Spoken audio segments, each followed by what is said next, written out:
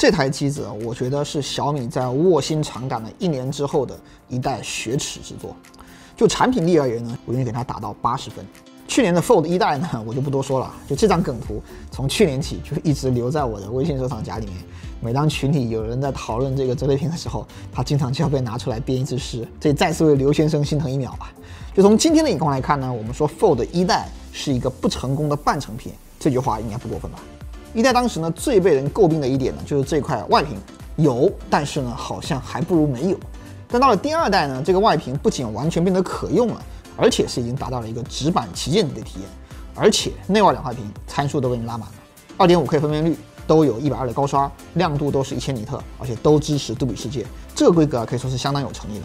然后呢是很多人关心的折痕问题。其实说实话，折痕这个东西呢，它属于那种我用之前会很介意，但用上之后反而觉得不那么重要的东西。因为大概从去年开始啊，只要是在亮屏状态，其实各家的这个折痕控制其实都已经做到了基本不影响使用的地步。我个人呢是不太在意这个东西，但架不住很多人关心嘛，所以我们还是来讲一下。目前我玩过的折叠屏里面啊，折痕表现最棒的应该是华为的 Mate X2，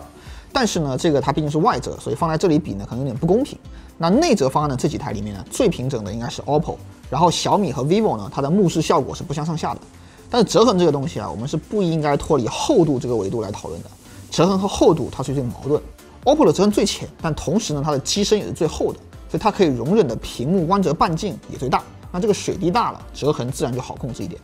而小米的机身呢，这次是做到了单面五点多个毫米，折起来是十一点多，而中间留给水滴的厚度呢只剩下八毫米多。那在这个前提下，还要维持这样一个折痕水平就不容易了。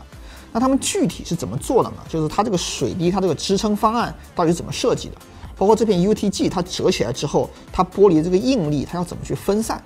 我猜呢，铰链上面应该会有一些动作，但是因为现在我也没看过里面，所以我现在也很难得出一个结论。以后如果有机会啊，拆开看看，再来跟大家分享。那我们再回到刚刚说的厚度，这次的这个 Fold 2啊，它可以打动我的一个很重要原因，就是它的形态非常的薄，非常的轻巧，薄到你拿在手里，甚至会有一种虚幻的不安全感。重量呢，实测是两百六十五，已经很理想了。作为对比啊，vivo 的这台是三百一十五，连 OPPO 这个小胖子都有两百七十八克，而小米这个机子呢是和华为的 X2 是一个量级的。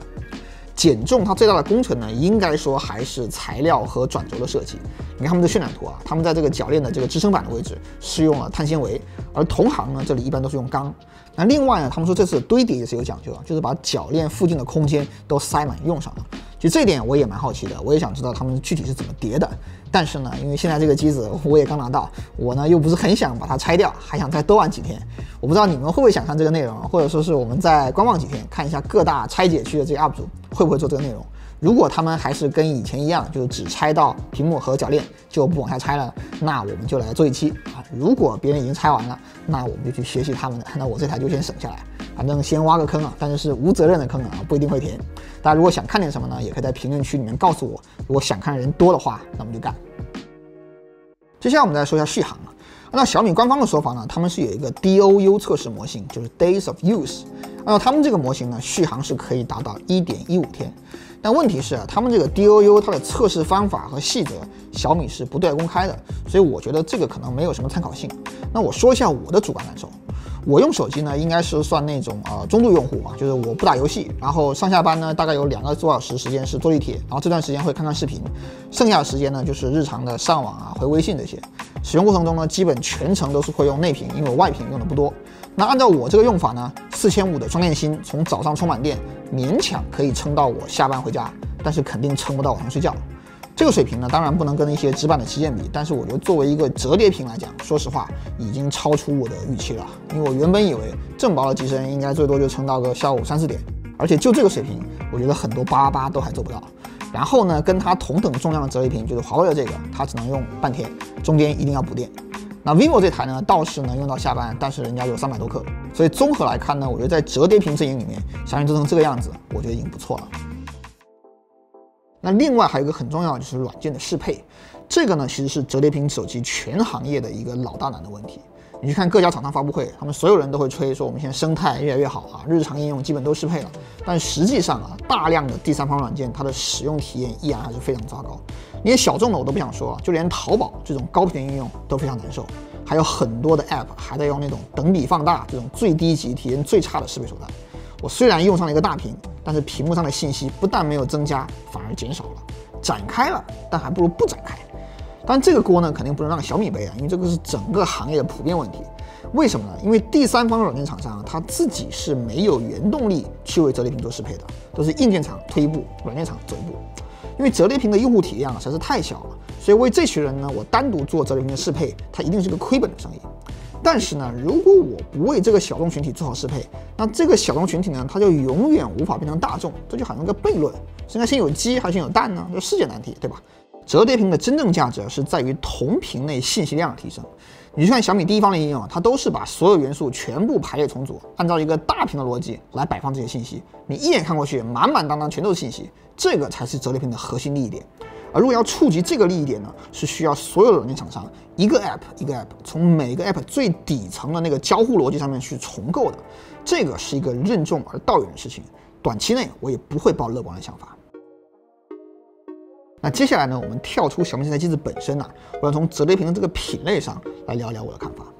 现在呢是二零二二年的八月，各家厂商的这个折叠产品线基本都已经度过了前期的摸索阶段，都开始进入到了中期的竞争，大家都开始出走量机型了。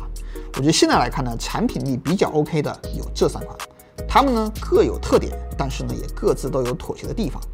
因为折叠屏呢它要折，而折呢它就需要连接，连接的部分呢是要占很大的体积的。而大家对手机重量的接受度呢，基本上上限也就是半斤左右，这个硬限制就摆在这里，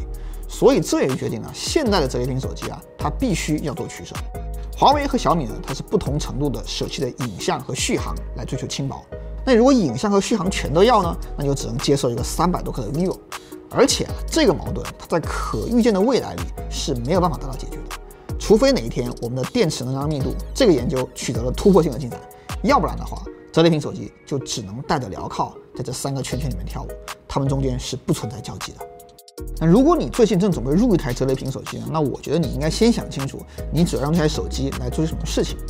首先呢，如果只是日常使用，就刷刷微博、看看朋友圈，像这种业务呢，我觉得折叠屏和直板手机它是没有本质区别的。原因就是我刚刚讲的，很多软件它还没有为大屏做好适配，折叠屏的优势它还发挥不出来，甚至呢，影音娱乐也是一样。你别看它屏幕好像很大，但现在绝大部分的流媒体内容它都是十六比九，上下的面积你是浪费的。当然，折叠屏它的实际显示尺寸肯定还是要大一点的，但是为了多出来这点面积呢，去牺牲其他的性能，划不划算？这个事情就得你自己判断。更别说像这种小号的折叠屏，你用它看视频，它的可视面积啊和正常手机相比几乎是没有优势的。那你这是图什么呢？图它重还是图它贵呢？那折叠屏适合什么样的人呢？我觉得有两种。第一种呢是那种经常有多任务需求的人，比如我一边看视频一边记笔记，像这种工作呢，在直板手机上面它是不可能干得好的，这就是少数的只有折叠屏能干而普通手机干不了的事。如果你经常有类似的任务，那折叠屏手机是非常契合你的核心需求的。那第二种呢，就是那种偏商务、偏文字工作的人，比如你经常需要在移动中处理大面积的文稿或者做表格。而身边呢又没办法一直带着一台电脑，那用这个屏幕来看大量的文字或做 Excel 是件非常爽的事情。那这两类人呢，如果经济允许的话，是比较适合去尝鲜的。但是呢，千万不要因为觉得它好看、帅，或者说是图一个新鲜感，甚至是为了面子去买个折叠屏，这种快乐它是消退的很快的。好了，今天呢，咱们关于这台手机就聊到这里，我们下期再见。